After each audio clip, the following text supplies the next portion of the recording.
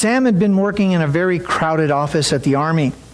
He noticed that they were running out of room for filing all their things, and, and on his own, he started evaluating where they might be able to create some room for all the new files.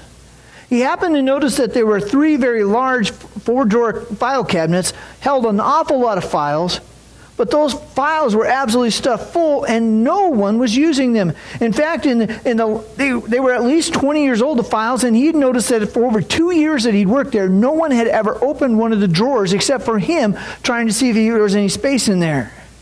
He thought, well, maybe I could get those removed and get rid of them. Then I'd have room for new files. So he talked to his superior. His superior then told him he needed to submit a written request to dispose of the old files so he could make room for the new files and new documents. After several weeks of going back and forth with communications regarding how old the files were, whether they were classified or declassified, what the use was for them, he finally got word back that he could shred all of the old documents, all those old files, uh, but first he would need to follow Army protocol making triplicate copies of every old document, then keeping and filing two copies of every old document, and sending one copy to storage. Protocol. We've always done it that way. Conform to the standards. Sometimes having to conform to the world or the military things is an absolutely horrible thing.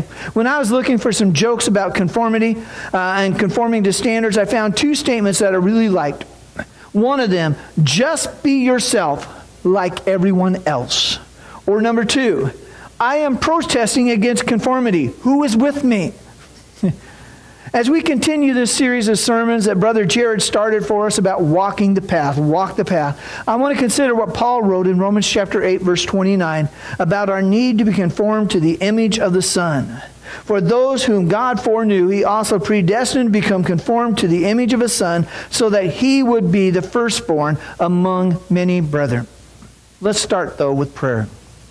Lord, I ask that you would help us to realize there's only two ways to be conformed either conformed to the world or conformed to Jesus. You've told us to be conformed to Jesus. Let us be conformed to Jesus. Thank you, Lord. In Jesus' name, amen.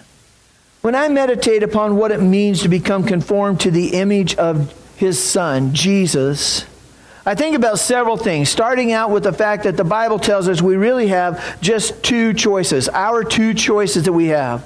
The first of these choices is that we could be conformed to the world and its ways. When you look over in Romans chapter 12, verses 1 and 2, and over in Ephesians chapter 2, 1 through 3, Paul wrote this to the Christians there in Rome. Therefore, I urge you, brethren, by the mercies of God, to present your bodies a living and holy sacrifice, acceptable to God, which is your spiritual service of worship. Verse 2 here. And do not be conformed to this world, but be transformed by the renewing of your mind, that you may prove what the will of God is, that which is good and acceptable and perfect. How do we know somebody's conformed to this world? Well, literally, that means that you fashion yourself like and you are uh, uh, like the world. You know, if you look at the Amish people, they have really taken this command to not be conformed to this world. They have taken extreme measures that their people have to follow certain dress codes and they have to be willing to forbid the use of mechanical modern machinery. And yet, you can tell the Amish who the Amish are just by one glance at their clothing or if they're riding in their little horse drawn buggy. It's pretty obvious. And what I find really interesting about that is if you compare these people to people in the 18th century or the early 19th century, they look like they are conformed to this world. They just haven't gotten up to the modern world. And I think about this over and over. Paul was not addressing what kind of clothing you have, your outward clothing, or your modes of transportation. He is addressing the thoughts of the world. Today's world, Christians being conformed to the world would be those who do not stand solid upon the Word of God. Instead, they adopt the worldly viewpoints in matters of morality and biblical accuracy. For instance, there are groups of Christians who have conformed to the world in regards to discrediting the Bible, discrediting it in areas like homosexuality, promiscuity, promiscuity, sexual sins. They say the Bible's teaching is outdated. It needs to be updated. It needs to be modernized to fit in today's world. Instead of the Bible being true, they feel, they teach the Bible's wrong, and so they conform to the world and the world's sense of morality or what the Bible would call immorality. Other Christians actually deny the accuracy of the Bible. Oh, yeah, we know what Genesis says. We know that it says that God created the world in six literal 24 hour days of creation, but instead they will want to combine evolutionary theories and, and tales and mixing truth with God's uh, uh truth, mixing the world's falsehood in with it. Still, other Christians had conformed to the world's ideas and thinking that, you know, just one little sin, that, that's not so bad. Or it really doesn't matter what you do. You don't have to tithe. You don't really need to put God first in your life. And they create their own, what I would call their own religion. And it's a mixture of worshiping God with a mixture, maybe even a little bit or even a huge portion of human philosophy and worldly doctrines. They have conformed to this world. Are we conformed to this world? When Paul wrote to the Christians in Ephesus, he wrote these words in Ephesians chapter 2, 1 through 3. And you were dead in your trespasses and sins, in which you formerly walked according to the course of this world. In other words, you were conformed to this world. According to the prince of the power of the air of the spirit that is now working in the sons of disobedience. Among them, we too all formerly lived in the lusts of our flesh, indulging the desires of our flesh and of our mind, and were by nature children of wrath, even as the rest. In other words, Paul was pointing out who is ruling you? Do you live for the lusts of your flesh and the desires of your flesh and your mind? Are we all about ourselves and entertaining ourselves? It was many years ago, back when I was a youth, that I had a man challenge me to, to write down everything I spent and then submit it to him how I spent my money. And he took that and he went through and he looked at it and said, I know what's most important in your life. If someone looked at your checkbook, if they looked at your register on your, your debit card, if they looked at your bank account, what would they say is most important in your life? What do you spend the most money on? You know, for most of us, we spend most of our money on housing, house payments, insurance payments, utilities, etc. Then some people spend money on vehicle payments and fuel and maintenance and repairs. And then perhaps our next biggest expense is groceries. But then where is our money going? New clothes so we can always look great? Movies, cable, TV, entertainment? Where is God in this list of how we spend our money? Where is helping others? You know, you can examine your money, your checkbook, your ledger, and you can see a whole lot about that. And if God is looking at it, which I'm sure He is, remember in Jesus telling the story about the widow who has put in her two mites? Who was watching that? Jesus. Jesus sees how we spend our money. What do you think God thinks about how we spend our money? What takes the most amount of our time? For most of us, with work.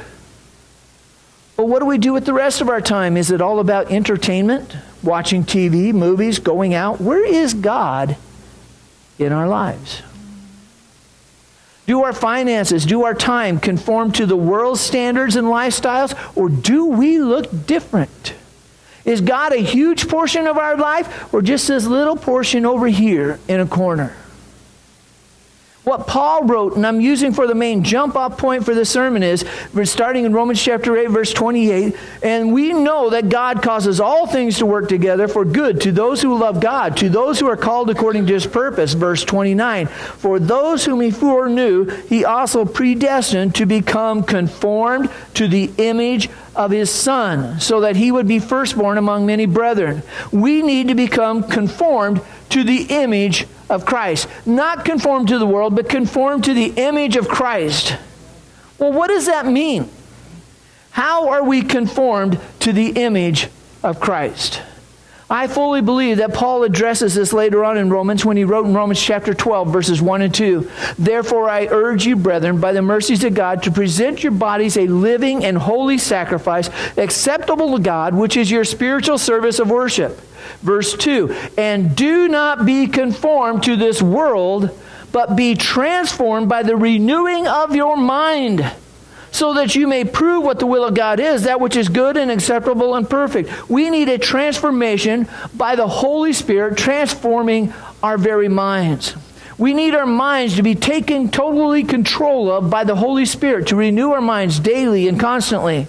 The world is constantly trying to do everything it can to get us to conform to the world, to the world's ideas, to the world's morality, but we need to keep on daily all the time working on aligning our minds and our hearts with God and His teachings. I think it was probably 30 years or more ago, my brother actually came out to see me up in Oregon, and he brought some of his friends out. And one day his friend, one of his friends, wanted to take some photos of the area. Is there anything interesting here? And I told him, you know, there's something that's kind of interesting north of Siletz. It's a hanging bridge, a suspension bridge that all you can do is walk across it. It's not strong enough for a vehicle. He said, Well, can you take me out and show it to me? So I drove him up there, and it's a privately owned bridge. The highway's on the east side of the Siletz River, their house is on the west side of the Siletz River, and they often use this bridge to get across. Well, we're out there taking photos, not on the bridge, but from the road, taking photos of this, and this truck pulls up. They were the owners of that bridge. They're the family that lived on the other side. And I started talking to him about how this guy's a photographer and he wanted some really interesting pictures. To me, this is one of the most interesting things to see north of town. And, and they said, Wow, you like to see this? I got some other things I'd like to have you take some pictures of that are really interesting, like a, a big barn with gigantic clear lumber. We said, Sure, we'd like to see it. He said, Well, come on, follow me. Let's drive over there. And I'm going, like, I know how to get to their house through the woods. Well, that's going to take almost an hour driving through logging roads to get back there. And I said, I don't know how we, we're going to drive there. He said, Oh, follow me. We have a ford. Going like, What's a Ford? Your car's a Chevy. Your truck is a Chevy. It's not a Ford. I didn't know what a ford was. He said, Just follow me. And I'm driving my little gray Toyota. If you don't know what a ford is, it's a place where they cross the river. He takes that Chevy of his and he drives down this very, very steep hill through the brush, lands in the river, and starts driving across. Well, I just follow along. I got four wheel drive. This is going to be fine and easy. But their truck was taller than mine. And we're driving through the Siletz River. The water's coming up halfway on the, on the doors. And I'm looking out my window going, oh, this is getting pretty deep. And then I started noticing the current was taking me downstream. Their truck wasn't going downstream, but mine was. And so I started having to turn my steering wheel upstream and trying to keep traction and constantly correcting it, trying to stay behind them. And I started thinking about that. That's a lot like it is with Christianity.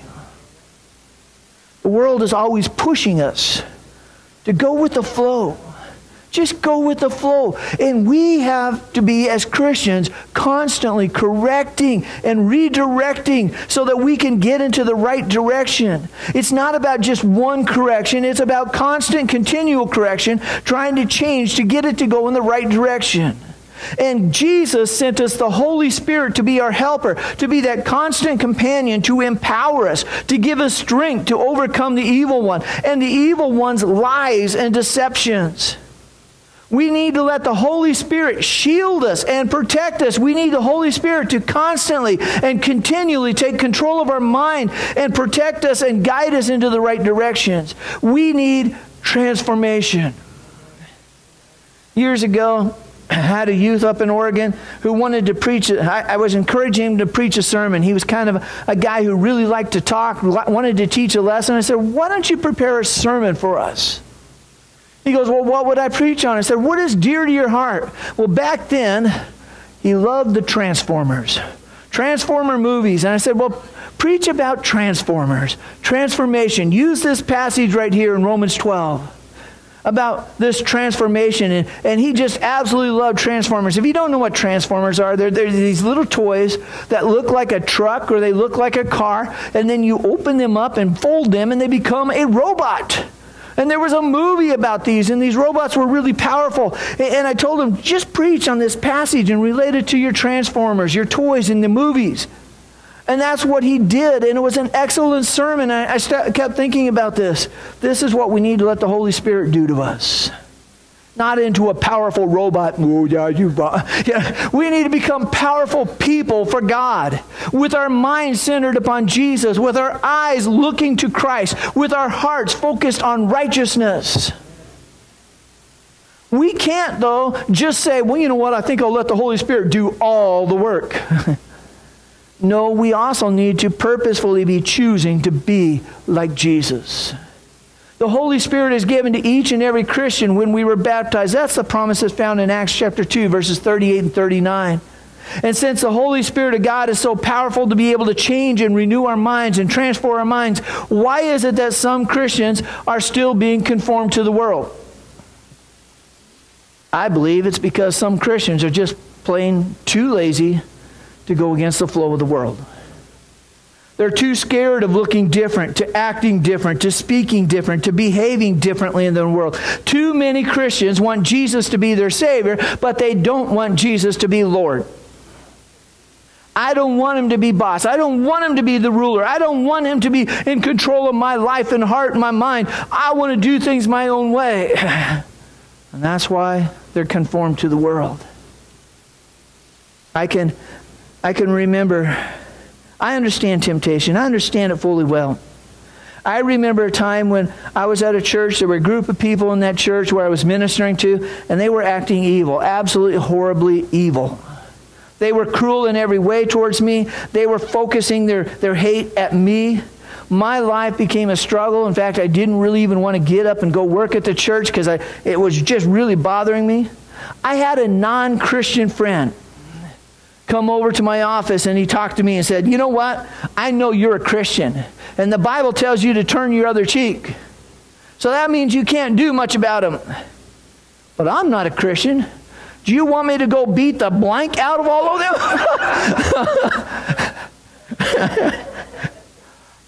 you want to guess what was racing in my mind? yes, yes, yes, please do so. Go, can I watch? That was what was racing in my mind. Do you know how hard it was for me to answer? Please don't. I mean, I was at a crossroads right there. It was a crossroads trying to figure out how would I treat these people who were enemies of mine, especially when this non-Christian friend is willing to take them out. What kind of light would I have been to that non Christian friend. You know, despite having the Holy Spirit in my life, I actually had to make a choice. Despite having the Holy Spirit in my life, I had to make a decision. Do I want to be like Jesus and cry out, Father, forgive them? Or do I want my earthly side to completely rule? Yeah, yeah, yeah, go get them. You know what? That is not always an easy choice. It wasn't an easy choice for me on that day. Yes, the Holy Spirit is there to guide us, but we have still been given free will. And we will need to make proper choices, purposefully choose to be like Jesus in every situation. So, what does it mean to be conformed to His image? Well, let me propose four final thoughts. One is we need to think like Jesus.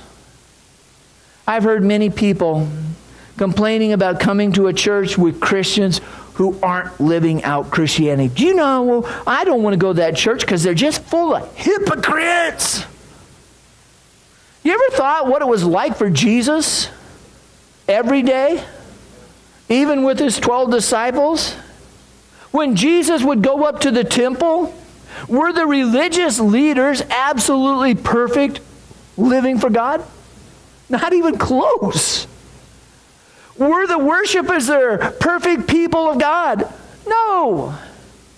When he selected 12 men to be his close disciples, were every one of them perfect? No. And some of you going like, well, only Judas Iscariot, he's the only one that had problems, right? No. in fact, there is one point in Jesus' life where Jesus has just been up on this mountain. We call it the mountain of transfiguration. Kind of appropriate for this sermon on transformation conforming to the image of his son. And Jesus is up there with three of his disciples, and they come down and they find the rest of the disciples with this man who's got a demon possessed son. And the other disciples are going like, we, we have tr- not been able to cast out this demon. And Jesus cries out, and listen to this. This is his words.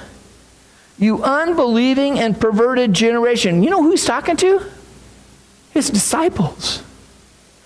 You unbelieving, perverted generation, how long will I be with you? How long shall I put up with you?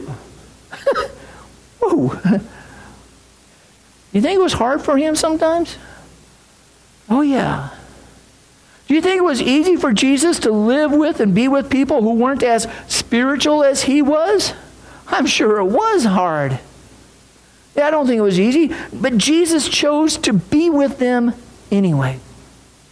He purposefully chose to be with them and even go to the house of sinners, to eat with them, to be with them. Even when religious people were criticizing him for doing that, he still chose to be around those people. See, Jesus didn't think just about himself.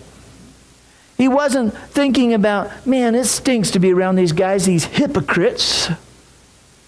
He was thinking about the lost, how he came to seek and to save the lost. He cared for other people. He thought about them. Do we focus our attention upon others, looking for ways to be with them so that they could know Jesus too? Even if they frustrate us? I know some people who, who shun being around others, who frustrate them. I know because I myself have been one of those. But like all of us, we need to be daily transformed into the image of Christ, conformed to his image, so we need to start thinking like Jesus.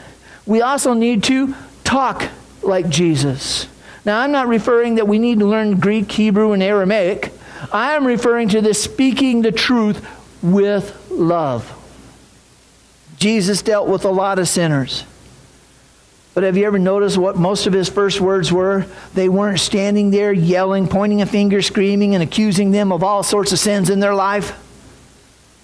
When Zacchaeus was there, his first words to Zacchaeus were, Zacchaeus, you come down, for I'm going to your house today. To the woman who was caught in adultery, woman, where are those who were condemning you? Do they, does no one condemn you? Then he goes on and says, I don't condemn you either. Go, and from now on, sin no more. To the sinful woman who was washing his feet, your sins are forgiven. Although we may not be able to forgive people of their sins, we can actually speak with words of love and comfort and kindness towards others. It's funny to me that Jesus' harshest words that are recorded for us are actually reserved for the religious leaders basically those who were ruling in the temple. But out in the world, when Jesus was among sinners, he spoke with kindness and love and compassion, even weeping for the people. How do you talk to others? Do you look at those people down the street that, oh man, they're a horrible sinner. Let's condemn them. Do you constantly tear down others and condemn those outside of Christ?